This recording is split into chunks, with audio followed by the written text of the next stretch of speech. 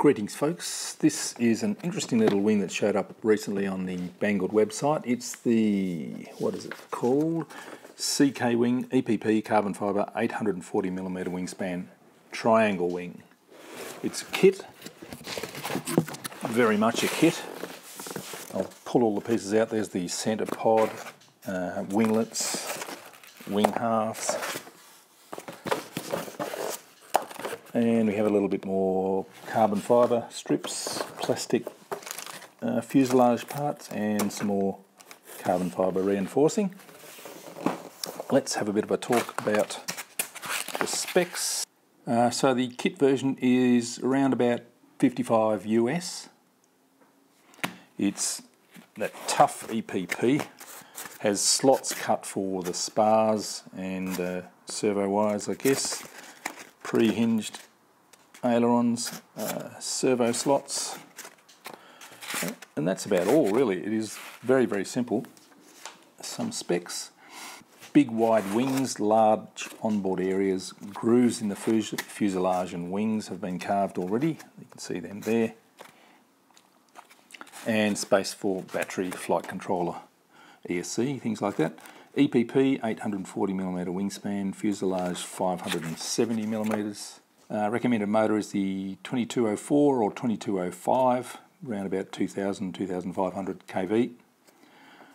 3S 2200 or 4S 1500.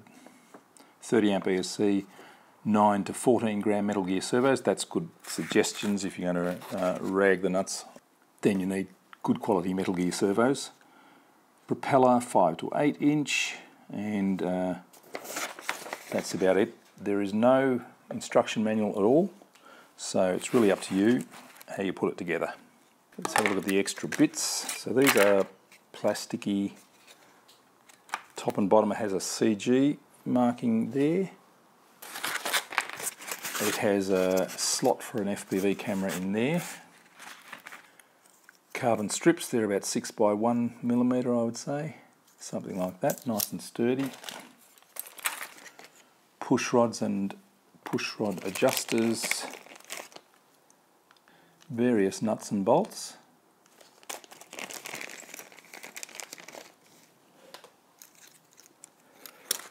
This is a sort of a load spreader that goes on the aileron, which is great because these sorts of ailerons can be very flexy.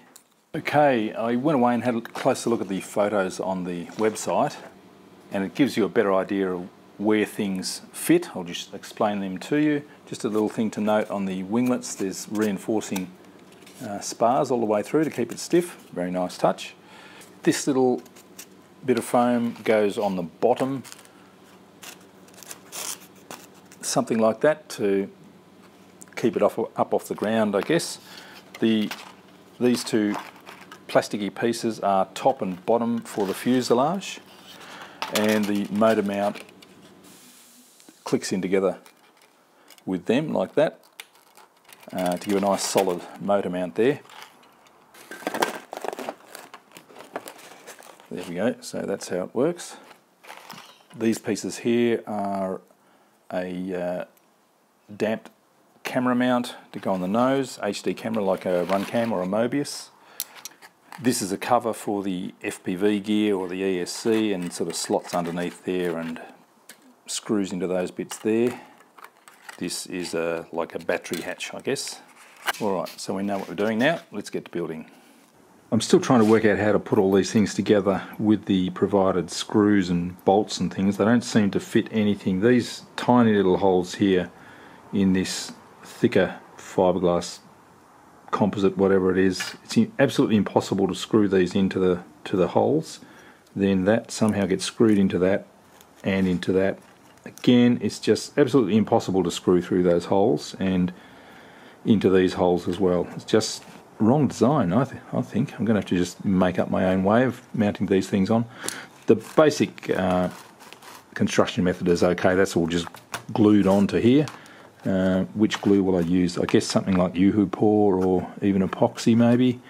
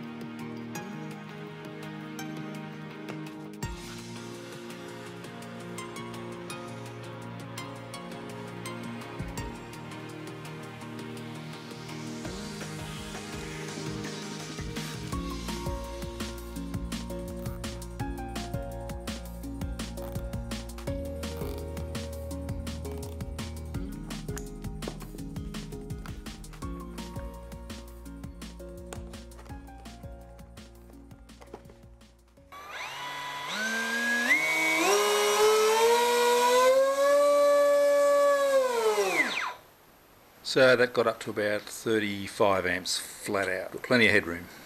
There we go, it's all together. All up weight was 570 grams with a Mobius on the nose and a 1300 3S right up in the nose. Balances the CG. Uh, there are some marks on that bottom bit here for the CG, which is about 200 from the nose, 200 millimeters back from the nose. I have uh, Tower Pro MG90 Metal Gear servos in there from Banggood. It's quite a nice build, I didn't mind it really.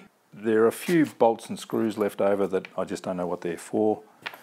The camera mount on the front, I couldn't work out how they meant it to be built. I've actually drilled out these holes here and the ones on the bottom plate and sort of hot glued some foam between the top plate and the bottom plate. Then we can uh, get a screwdriver through those holes and unbolt it and take it off so you can uh, muck around with the FPV camera in there. Video transmitter on the top there, ESC and receiver in the back. I've cut away a little bit of the foam so that it's not showing in the FPV view. Uh, you won't have to do that if you use one of the bigger lenses that poke out the front a bit more, but that's reasonably well protected. That's not too bad. I'm using a, a T-Motor F80 motor, 45 amp, amp ESC. It's not going to be a super high performance wing with the, the foam and the sort of thick trailing edge. Uh, we'll see anyway, it might be fantastic. The push rods are a bit dodgy, they're sort of just clamped on with a, a screw going through plastic there and um, uh, they're going to strip pretty easily I think. Here's the mixing I did on my Taranis, just to show you how to mix up a Elevon mix. I'm using an X4R receiver, uh, I've got the voltage on the Eagle 2 Pro, so I don't need voltage telemetry, which is good. Room for a flight control board. It'd all be pretty tight in here with the ESC and the, the receiver all close together. You might want to put them out on the wing somewhere like that so that you can have the flight controller in the middle there. Um, but yeah, for a basic setup, this, this will do me fine. So that's it for this assembly and review video. Next video up, we'll take it out for a test fly. Thanks for watching.